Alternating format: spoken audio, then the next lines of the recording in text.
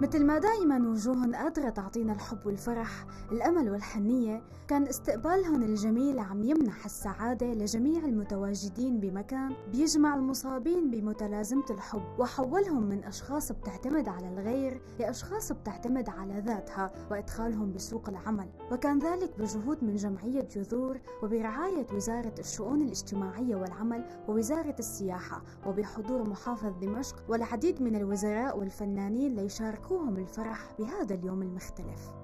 شكرا كثير لوجودكم.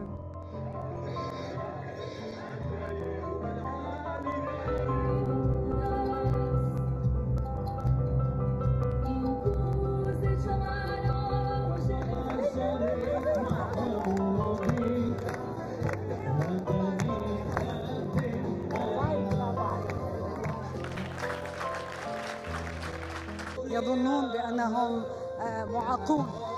لا هم أصحاب احتياجات خاصة. إذا ما عوملوا بطريقة خاصة علمية ووجهوا الاتجاه الصحيح. فهم سيستطيعون أن يقفوا على أقدامهم وأن يستمروا في حياتهم وأن يكون لهم موقعهم وأن يعتمدوا على أنفسهم. هذا مشروع مهم للغاية. أنا أتمنى أن يعمم كل العاملين فيها وخليني أقول في أكثر من 75% من العاملين فيها هم من ذوي الهمم.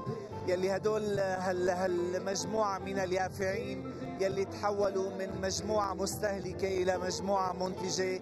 بالإضافة لأنه آه، قدرت جمعية جذور تملي وقتهم وتخليهم قادرين يكون منتجين وفعالين في المجتمع وقدرت تدمجهم آه، مع المجتمع الأهلي. هذا مشروع كثير مهم لأنه آه، طبعا اليافعين الداون هن جزء من المجتمع، ما بينقصهم شيء أنه يكونوا فعالين بهذا المجتمع.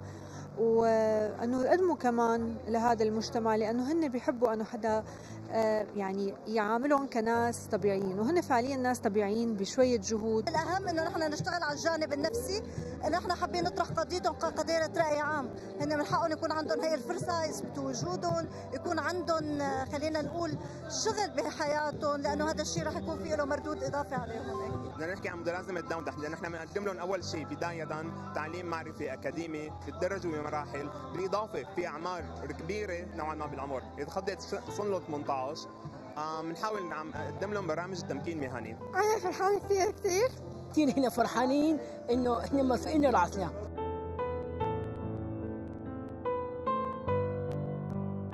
الإيمان بالقدرة هو نصف الطريق لتحقيق الأحلام وكانت أحلامهم يوم عن يوم عم تتحقق. ومن خلال هاليوم كانت رسالتهم أنهم قادرين على العمل والعطاء مثل بقية أفراد المجتمع ولكن الميزة اللي مرافقتهم هي الحب.